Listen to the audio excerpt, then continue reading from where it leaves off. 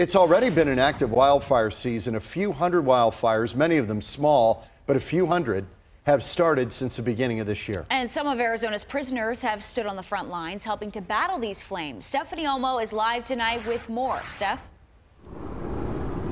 John and Christina, as part of the state forestry program, these inmates are used during the wildfire season to help out with suppression efforts and mitigation. And so far this year, they've been very busy at work.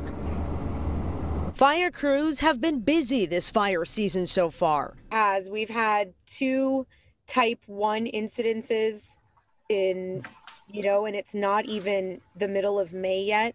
Some of those who have been battling the flames across the state are Arizona inmates. For decades, the Department of Forestry and Fire Management has worked with the Department of Corrections to train inmates to be on the front lines some of these folks are more you know more versed in firefighting than um, others because that's all they have to do is train and they're very um, appreciative of the fact that they get to do this type of thing. There are 12 hand crews each crew comprised of 20 members.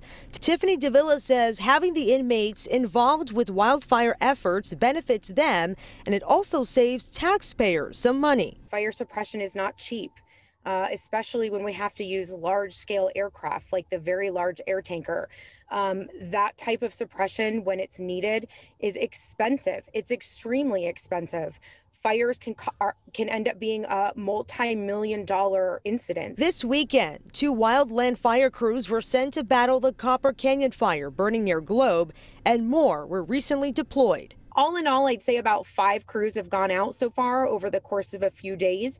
And of course, we really hope to get them out more this summer. Uh, we're always, you know, appreciative of the fact when we can use them because these men and women are some of the hardest working firefighters in the industry.